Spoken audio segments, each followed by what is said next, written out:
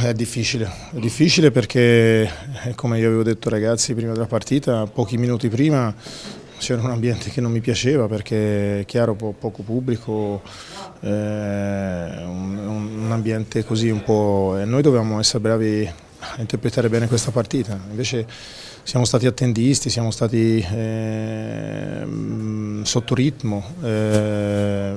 è chiaro subendo poco ma era normale subire poco da questo Varese, poi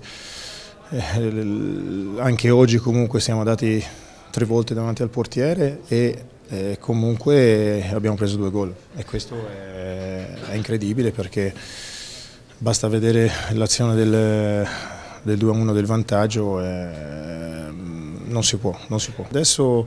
eh, pres si presenta la partita più importante e perfetta perché tanto non possiamo gestire niente noi, eh, dobbiamo solo andare a vincere questa partita e, e, quindi se la vinciamo bene, è segno che meritiamo di andare avanti, altrimenti è segno che meritiamo di uscire. Senta mister, lei nel, nello sfogo, chiamiamolo così di martedì, ha detto dobbiamo stare tutti dalla stessa parte, dobbiamo remare tutti dalla stessa parte per raggiungere l'obiettivo, però a tirare la volata dovrebbe essere la squadra e oggi la squadra non lo ha fatto per colpa di chi non, uh, non, riusciamo a capirlo, se magari vuole dirlo lei.